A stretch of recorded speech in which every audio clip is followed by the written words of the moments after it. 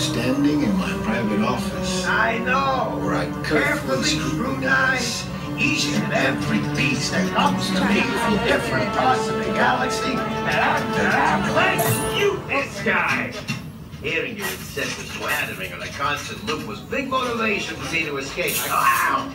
Ow! What was... That was not part of the plan. What? Escaped. For those of you who have not been paying attention, the name's Rocket, one of the Guardians of the Galaxy. The smart one. Listen up. He's gonna put you on a gantry lift for your tour. I'm gonna sneak on top of your lift and take us all the way to the big old generator control room.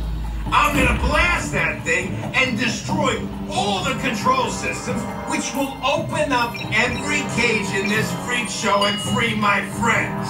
Our buddy Mantis is in the getaway ship waiting for my signal, and then we'll be on our merry way.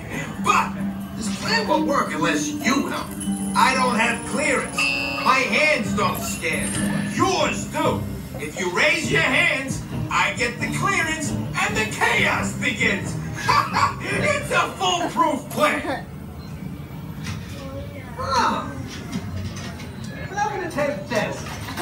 Now! All right, Rocket needs your help.